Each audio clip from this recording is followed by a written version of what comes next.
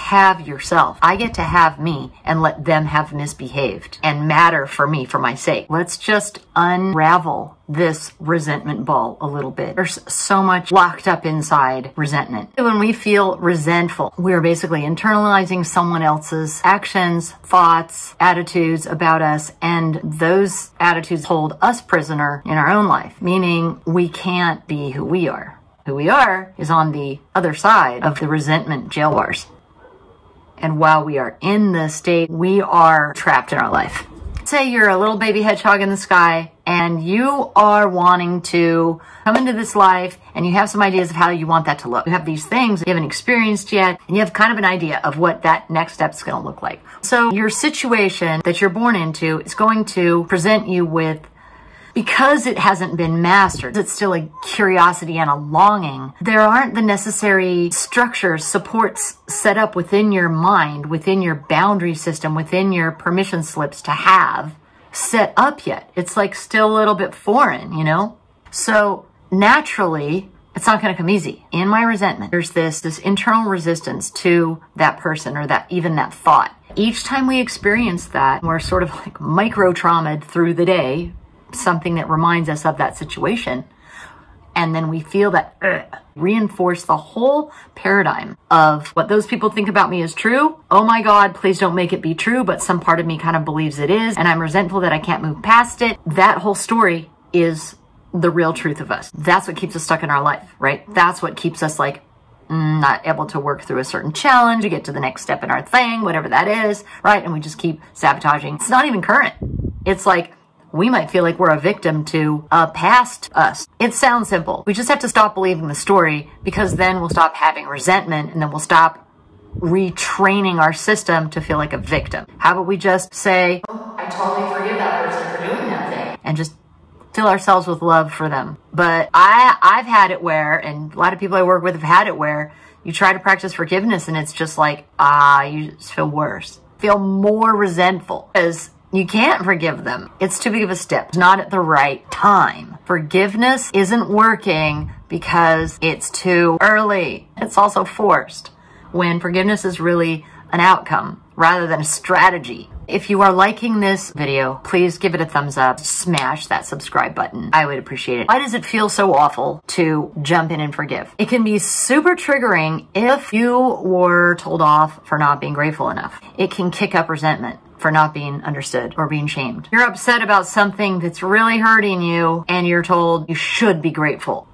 In your own little hedgehog heart, you're hurting. And then the shame skin that that kid now has to go around wearing. Now they're like upset and a bad person because they can't be grateful. They're confused because they didn't think they were bad. They just thought they were upset. And now on top of that, they're bad. Now they can't even be upset about what they're upset about. They can't like express their discontent. Let's talk about is it okay to show anger and express anger? Because one of the reasons why we can't process our resentment is because we're actually pretty mad. I mean, it's an old problem. It's in your system, if you've been like rehashing this pattern over and over, it's most likely from something that made you really mad, not a tiny bit mad. And if it stayed this long in your system, I'm assuming if there's low level resentment, there's something to be mad about. And anger is always on top of feeling powerless. When we're angry, we're trying to assert a boundary. It clearly defines what you don't like. And so it insinuates what you do like. The thing is, our connected true self is aware when these things happen to you and is keeping score, is aware like that wasn't cool.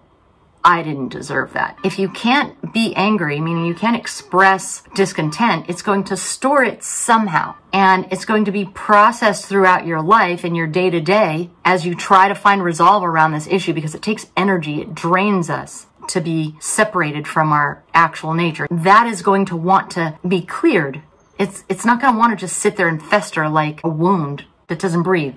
It needs air. And that's why it stays in our system as low level resentment.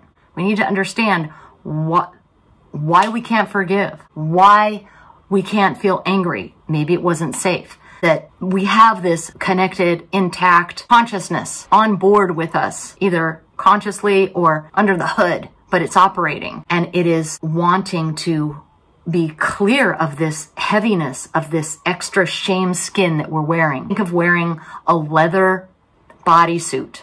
It's like heavy. You have to go around your whole life with this heavy leather bodysuit on, and you have to interact with the world, right? You don't want it. You, and so part of you is going to be like, oh, remember you have a leather bodysuit on. I think you should take it off. It's getting hot, right? You're going to get hot.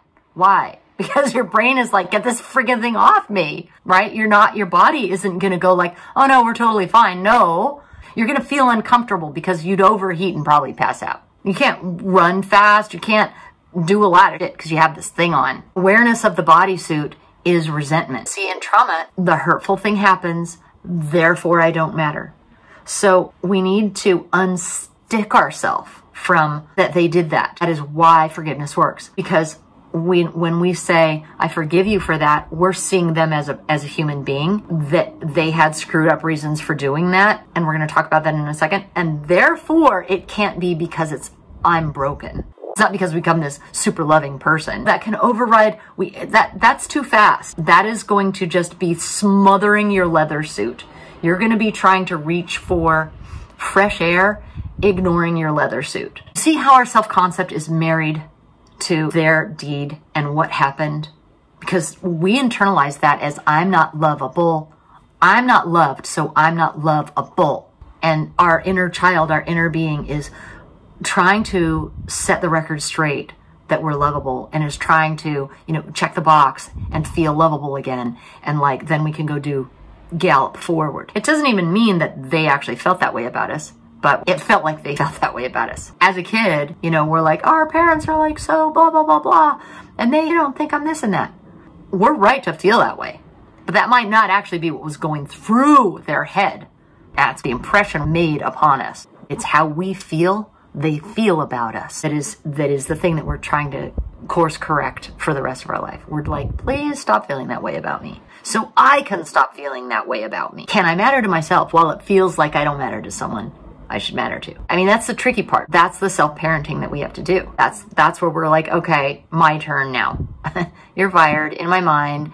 I'm not, you're not the one telling me how I get to think about myself or me thinking about past you and me thinking about past me isn't the one who tells me how I think about myself anymore. Can I matter to me? What, that alone, like for me, that really changed things. Like, what would that feel like? What if that person didn't, I didn't ever matter the way I want to matter to that person? What if that never changed? What if I could be like, okay, I'm not going to matter to you the way, and I'm going to let you be that way because I'm going to do it. That's self-love. There's a lot of resistance against self-love too, because it's like, I shouldn't be the one to love, I'll only love myself. Other people should, love. yes, they should love you. And what if in them loving us, is us having a permission slip to accept ourselves. What if we're trying to outsource them so that we can accept ourselves? To feel absolutely broken and be like, I am needing people to show me that I'm lovable. Love myself enough to go get that. That's very different than I resent the world for making me this way. Resentment is super limiting. It's like, I mean, I, I'm not immune to it. I have it too, you know?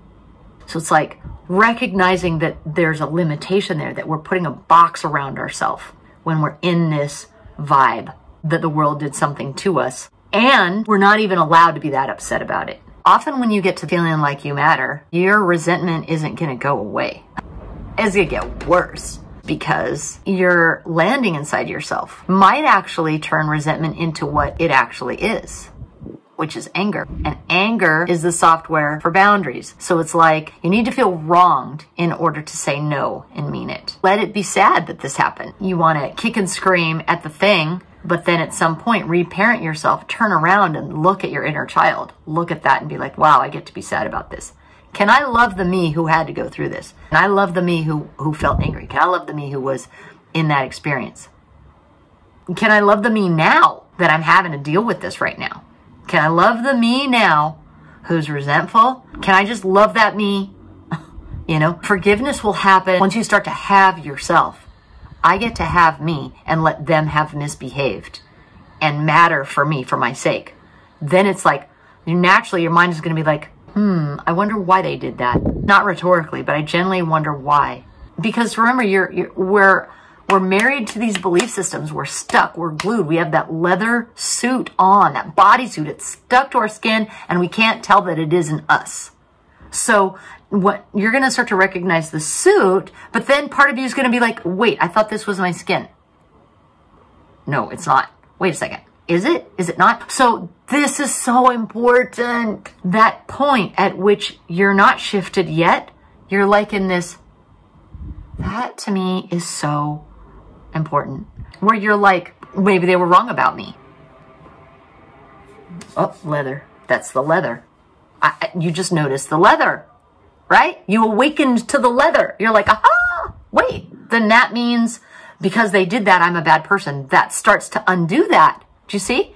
Now you're, now you can see the bars, you can feel the leather. So what actually would have caused them to do that? What in their life did they experience? All up until this point, you've let yourself be mad, you've let yourself grieve, you've reclaimed some sense of, yeah, I get to have a boundary around that. You've felt into your little hedgehog baby self and been like, aw, poor me, right? And that brought you back online and you're like, holy crap, I've got leather on my skin that doesn't belong here. So then now you have a thought, hey, maybe my parents didn't do this because I'm broken. Well, then why did they do that? Because your mind, your logical mind is going to want to answer that question. You're, that is so important. Well, if it wasn't because I'm broken, then why was it? Because this whole time, your nervous system, since being a baby or whatever, your whole nervous system has been like, yeah, it's because I'm broken. They did that because I'm broken. They did that because I don't work. They did that because I don't function in some way. I have an unlovable gene is missing in me. Don't know why, just is. Right? Your nervous system is just like that. And it reacts to the world accordingly. Uh, you're dating and it reacts. You're at work interfacing with your colleagues and it reacts. You're interfacing with your boss and it reacts. You're, you're going around the world interfacing with your leather skin. And now you're like, hold the heck up you're mattering to yourself, then you can start to ask, well, why might they have done that? And then that will be helpful for you, not to turn you into super oneness person who's spiritual, but so that you can understand the truth of yourself. We, we, we can't collect $200 and pass go till we understand that. And so why did my parents do that? is a great question to undo that. Another question you could ask is what would have to happen to a person to make them do something like this? We don't, we don't excuse it anymore. They were off the hook because it's too scary to go against them, right? So in the past, we let them off the hook and you were wrong. No understanding anyone, not yourself, not them. Now you understand your worthiness and you understand well, maybe a little bit about them be coming from this perspective because you have yourself. They can misbehave or they can have misbehaved. And it doesn't mean those things that it used to mean. It doesn't create a leather suit, right? So now that you're mattering, you get to have preferences. You get to have things that you don't like. Here is a list of questions to help get you going. First is the healing angle. What resentment wants attention if you were to be really honest right now? What if it was okay to feel resentful about that?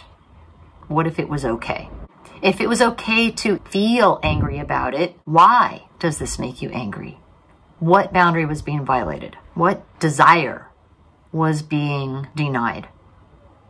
And this is going to be a value of yours. It's going to be something you want because this is going to have forged in you a high priority for not that and a high priority for exactly the opposite of that. You might notice in your life that you make choices around that. And then just feel whatever comes up and not analyze. That's the hard part, right? We like to figure stuff out. Feel like, oh God, there's sad me. Is it okay to be sad? Yes. Because grief often fuels the flames of our anger and our resentment. So let it be seen and felt. Second angle is reclamation. Why might they have done that according to their own trauma and their beliefs? Would have had to happen to somebody to make them do something like this. If it makes you feel extremely triggered, then ask it this way because it's going to be better to not ask you as if you're imagining them because you're just going to be like, there's nothing, there's no good reason. I'm not giving them a pass. I'm not even going to give them my understanding. So it's just ask the other way. Two, does thinking about that let you off the hook for being a bad person, even a little bit? Three, what about you did they get wrong this whole time? And number four, can you love the you who experienced that? Transcend an angle. Take a deep breath and ask yourself, can I feel a sense of acceptance in some mutual karma or lessons that I might have been involved in in this? That's a tough one. I would not have been involved in this lesson if there was not some mutual karma here. Me with this person, me with this situation. Two, own the experience. Take a deep breath. Doesn't mean that they were right. Can it be wrong that this happened, yet can it also be not wrong? This is your freedom move. This is your get out of jail card. Can the universe not be wrong and I look at my life and go, it's okay that, that, that I had to go through that. If you feel totally triggered, even hearing that, there's some reclamation and some healing coming down the pike for you. You will get to a point when you can ask yourself that question and you will not be triggered. You will be like, hell yeah, I want to own that. But why? Because it means that experience isn't bigger than you. That that experience isn't dictating how you get to think about yourself anymore. I, that was lived experience. There's nothing wrong about me that that happened. And there's nothing wrong about the universe that that happened. And you're going to know that because you're going to have alchemized something within you, some knowing within you that is precious. Number three, park that person in your mind in neutral.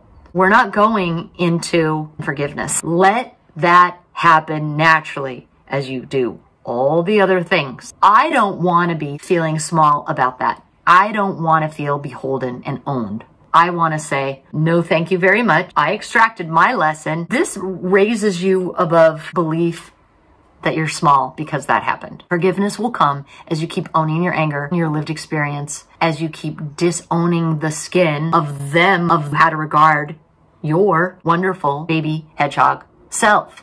Making sense? There is a free self-love course in the description below. I hope you take advantage of that. And also, if you need extra support, I offer coaching sessions, the link in the description. Like, subscribe if you want to hear more of these things. Thank you so much for sticking to the end.